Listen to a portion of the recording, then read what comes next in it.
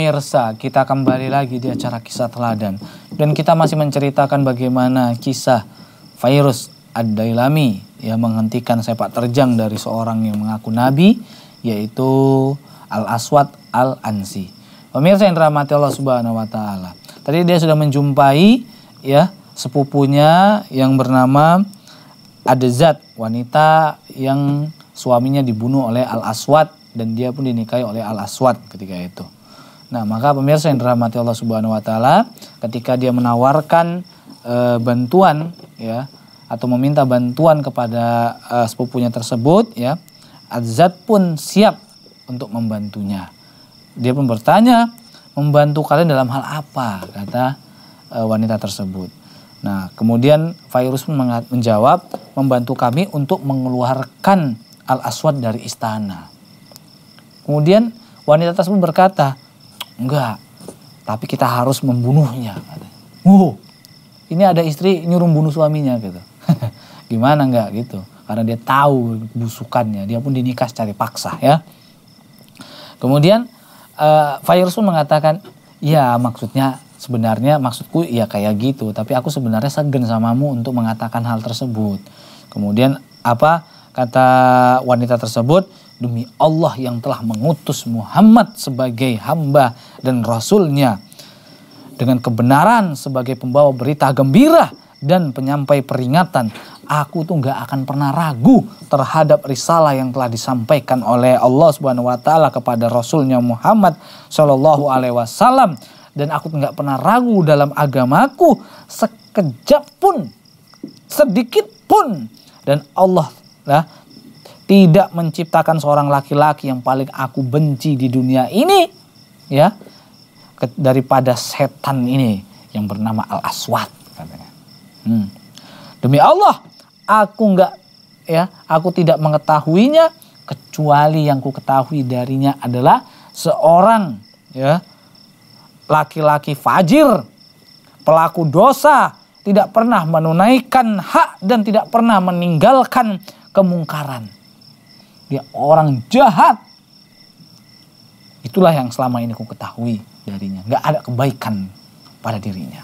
Atau wanita tersebut. Kemudian Fairusun mengatakan, jadi bagaimana cara kita untuk bisa membunuhnya? Nah akhirnya wanita tersebut pun mengatakan, wah agak susah nih. Dia orangnya sangat hati-hati ya. Dan selalu waspada terhadap kemungkinan-kemungkinan buruk. Wah tidak ada satu tempat di istana ini yang bebas dari penjaga.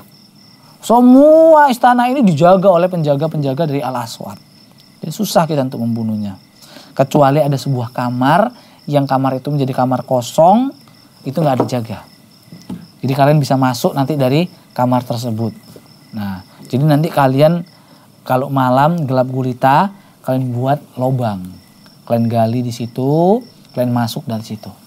Kamarnya itu nanti setelah itu nanti di dalam itu aku uh, berikan lampu dan juga aku berikan senjata untuk kalian untuk masuk dan menyelinap ke istana. Nanti aku akan menunggu di istana tersebut.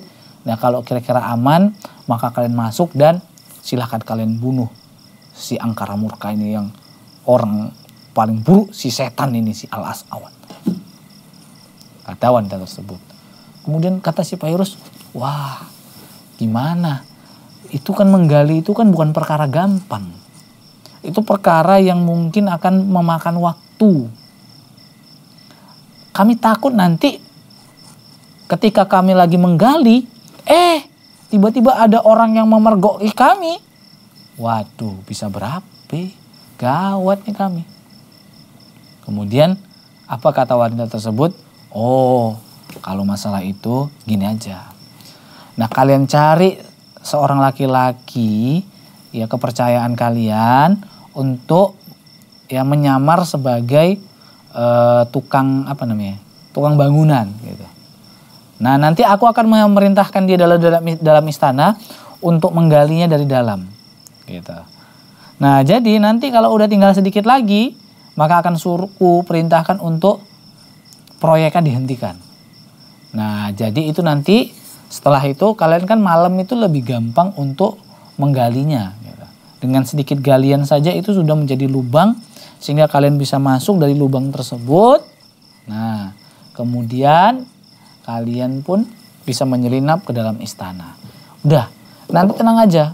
Di dalam kamar itu akan kuberikan sebuah lampu ya dan akan ku letakkan juga sebuah senjata untuk kalian habisi si si setan tadi si si al aswad tadi. Kemudian nanti kalian masuk ke dalam istana, aku akan menunggu di dalam. Kalau situasinya aman, maka akan ku persilahkan kalian untuk membunuh si setan tadi, si al aswad. Pemirsa yang dirahmati Allah Subhanahu wa taala. Akhirnya pun ya, dengan strategi tersebut mereka bersepakat. Nah, kemudian pemirsa yang dirahmati Allah Subhanahu wa taala, virus pun dengan secara diam-diam menghampiri satu persatu para sahabatnya yang e, berada di jalan yang lurus ya untuk bersepakat. Besok pagi kita bertemu semuanya ya, kita siap berperang di depan gerbangnya si istana Al Al Aswad. Kita hancurkan istana Al Aswad, kita jatuhkan uh, kepemimpinannya, ya kekuasaannya. Dan insya Allah Islam akan kembali berjaya. Wah, pemirsa yang dirahmati Allah Subhanahu wa taala. Akhirnya mereka pun men, mensia, uh, bersepakat untuk keesokan hari di waktu fajar mereka jumpa di depan gerbang depan gerbang Al Al Aswad. Pemirsa yang dirahmati Allah Subhanahu wa taala, malam pun tiba. Wow. Akhirnya ya, ketika siangnya itu sudah diutus orang untuk menggali lubang dari dalam, sudah selesai dan tidak ada orang satupun yang curiga terhadap strategi mereka dan tidak ada seorang pun yang curiga terhadap istri dari Al Aswad yaitu uh, Adzat ya. Kita tahu bahwasannya wah ini istri pemimpin nih nggak mungkin dia berkhianat. Kan orang-orang pasti berpikir seperti itu pemirsa. Nah Hingga akhirnya pemirsa yang rahmat Allah subhanahu wa ta'ala ketika malam pun tiba. Gelap gulita. Ya, penjaga al-aswad tetap berada di posisi mereka, di pos-pos mereka masing-masing. Dan benar kamar tersebut ya yang sudah disepakati tersebut itu memang nggak ada penjaganya gitu pemirsa. Mereka pun dengan hati-hati membuat lubang dari luar. Cangkul. Pelan-pelan. Ah, langsung tembus pemirsa karena nggak repot-repot. Nah, kemudian mereka masuk ke dalam dan ternyata benar wanita tersebut nggak menjebak mereka. Sudah ada lampu, sudah ada senjata. Nah, pemirsa yang rahmati Allah Subhanahu wa taala, apakah misi mereka akan berhasil? Insya Allah kita akan ceritakan kembali setelah jeda yang mau lewat. Berikut ini jangan ke mana-mana tetap di kisah teladan.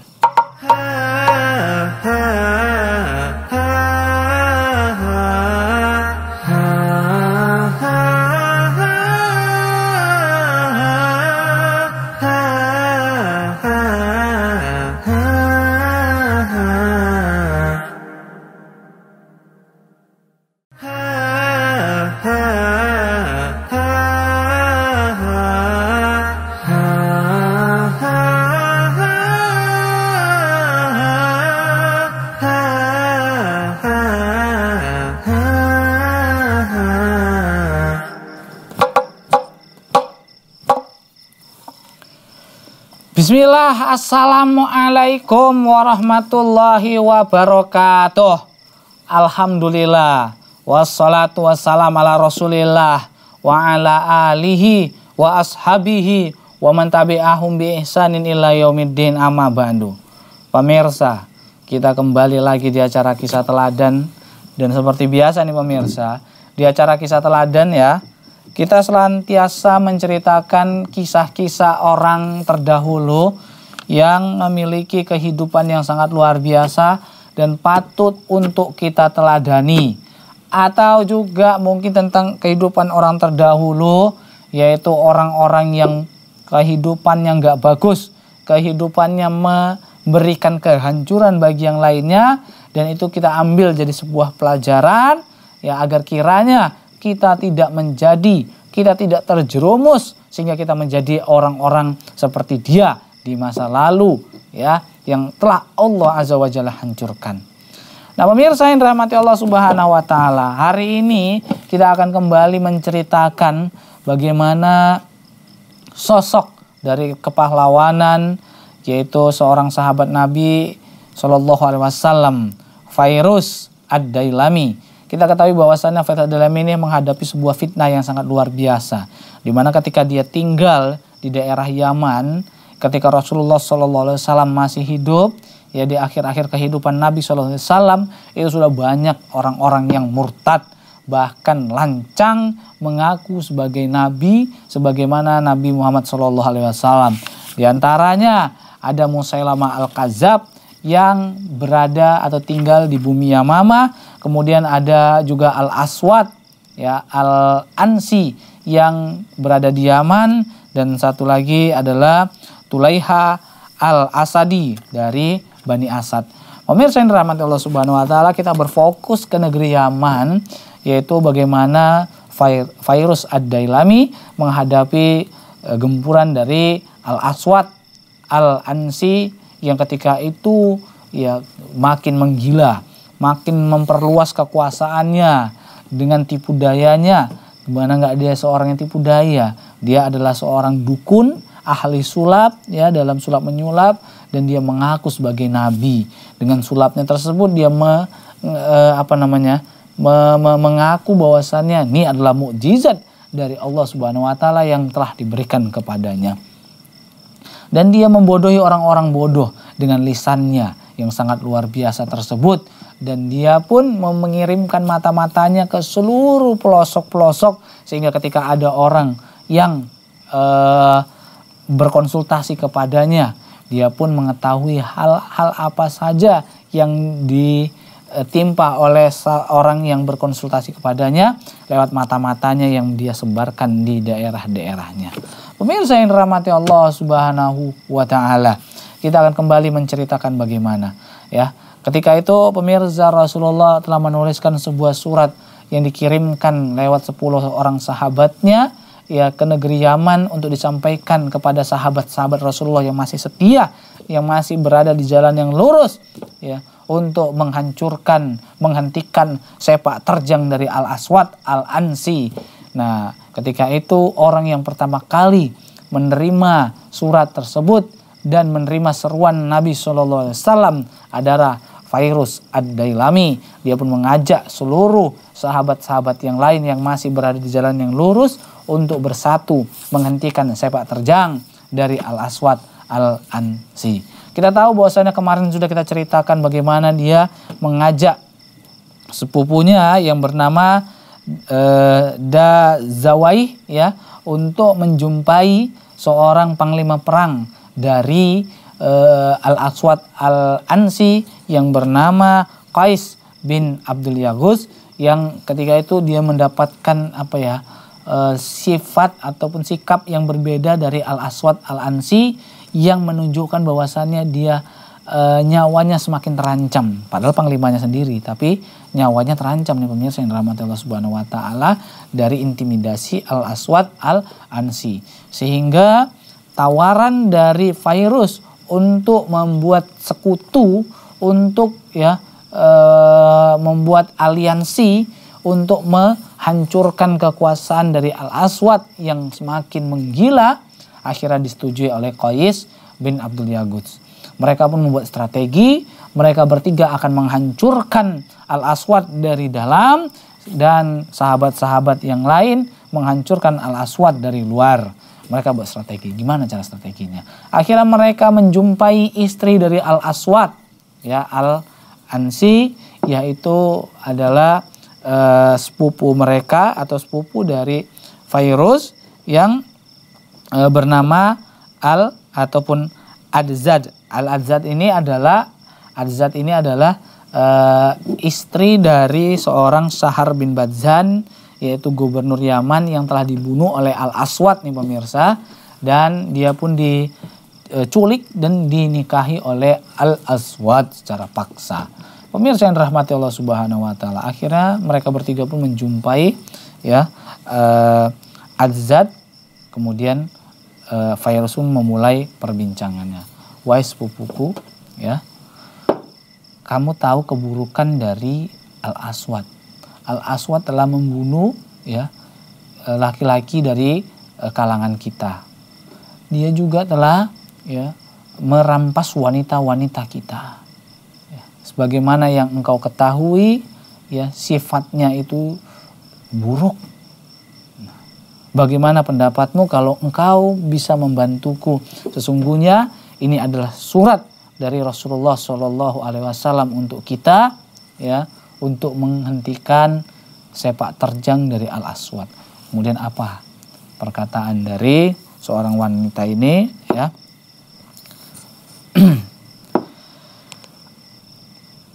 sesungguhnya ya aku ini masih berada di jalan yang lurus.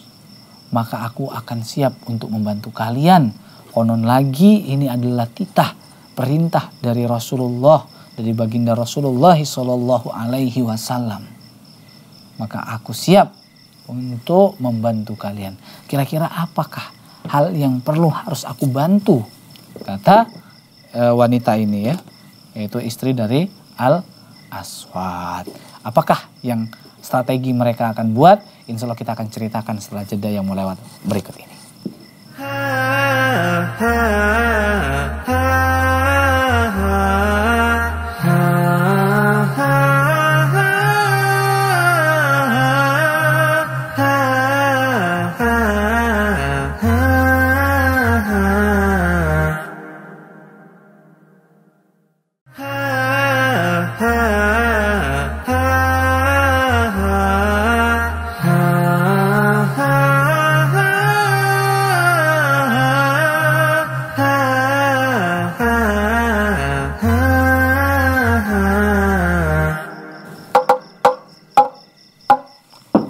Pemirsa, kita kembali lagi di acara kisah teladan dan kita masih menceritakan sosok sahabat yang mulia Virus Ad Dailami. Nah, kita ketahui tadi udah udah masuk ke dalam sebuah uh, kamar yang di kamar tersebut ternyata memang sudah disediakan sebuah lampu dan juga kita katakanlah pedang lah ya. Kemudian pemirsa yang dirahmati Allah Subhanahu wa taala akhirnya pun virus membawa apa namanya? Lampu tersebut ya di Sumet untuk menerangi. Karena kan dulu kan belum ada PLN masuk ke sana gitu. Masih gelap gitu. Jadi pakai lampu semprong lah sentir gitu. Kemudian dia masuk bawa pedang pelan-pelan gitu kan. Sampai di depan kamar dari uh, Al Aswad Al Ansi ternyata memang sudah ditunggu oleh uh, sepupunya tadi yaitu istri dari Al Aswad tadi dia mengatakan kasih kode. Si al aswad sudah di dalam dan dia udah ngorok tidur pules. Oh, tidur. Kemudian mereka pelan-pelan masuk mematikan lampu udah gelap gulita udah tahu posisinya di mana. Kemudian pemirsa yang rahmat Allah subhanahu wa ta'ala dengan pedangnya tersebut yang nggak begitu panjang udah nampak situ si musuh Allah laknatullah al aswad al ansi langsung dikuruk. Begitulah kira-kira. Ya kayak orang digorok untuk kayak mungkin kayak apa ya? Kalau di sini digambarkan dalam sebuah cerita dia mengaung-ngaung kayak serigala gitu. Ada yang bilang kayak lembu dipotong. Gitu kan. Ada yang dibilang katanya dia meronta-ronta namanya kayak orang di sembelih gitu kan. Kayak unta lagi disembelih wah wah gitu gitu nah ini pemirsa yang dirahmati Allah Subhanahu Wa Taala karena suaranya tersebut keras kuat ya sehingga para uh, pengawal itu semuanya berbondong-bondong datang ke kamar dari uh, Al Aswad tadi. Wah, gawat nih pemirsa yang dirahmati Allah Subhanahu wa taala. Suaranya kuat kali. Wah, wah, wah, gitu kalau mau mati gitu kan. Ini kan tenggorokannya dipotong gitu. Nah, jadi aku datang wah oh nopo oh nopo. Bondong datang ke kamar. Tapi ini kalau sempat masuk ini ke pergok nih Pairus di dalam nih ya. Pairus di dalam sama sahabatnya lagi. Jadi sebelum mereka masuk langsung dicegat sama istri dari Al Aswad wah ada apa ada apa ada apa? Jadi nanya kan. Mereka panik lah ya kan. Suaranya gitu kali. Gluduk gluduk gluduk gluduk gitu. Kayak orang kayak tau lah kalau orang mau mati itu kayak mana nahan sakitnya kemudian ditahan sama istrinya tadi. Kalian mau ke mana? Eh, itu lagi apa itu dalam itu? Udah tenang aja kalian di sini. Sesungguhnya Nabi Allah ini sedang mendapatkan wahyu kata kata istrinya. Dia mendapatkan wahyu. Jadi kalian jangan ganggu. Biarkan aja dia. Oh tak kira ada apa lu bu. Oh ya udahlah kalau gitu. Mereka balik semua pemirsa. Kena tipu dia. Udah balik semua berangkat oh lagi turun wahyu tadi turun wahyu nggak apa-apa nggak apa-apa gitu. Dan pemirsa yang rahmati Allah subhanahu wa taala seketika pun setelah virus memastikan bahwasannya nih aswat nih al aswat nih udah mati nah potong aja kepalanya itu. Habiskan aja patok ambil kepalanya tenteng dia. Nah kemudian kan memang ketika fajar tiba itu ya itu sudah apa sudah janjian terhadap kaum muslimin yang lainnya. Maka ketika itu virus ya ada ilami naik ke sebuah menara besar atau di apa ya e, seperti benteng besar gitu tinggi.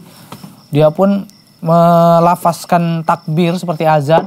Allahu Akbar! Allahu Akbar! Dengan suara yang keras. Asyhadu alla ilaha illallah katanya.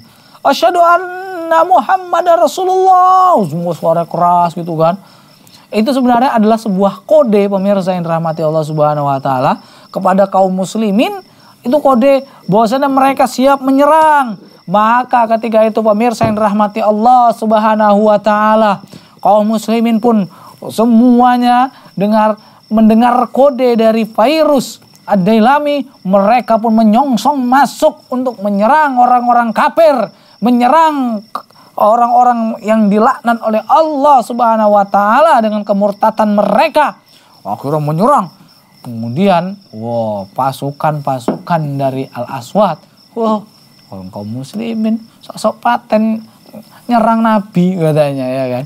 Mereka ketika mereka siap untuk meladeni dari tentara kaum muslimin tiba-tiba virus Ad-Dailami mengangkat sebuah kepala.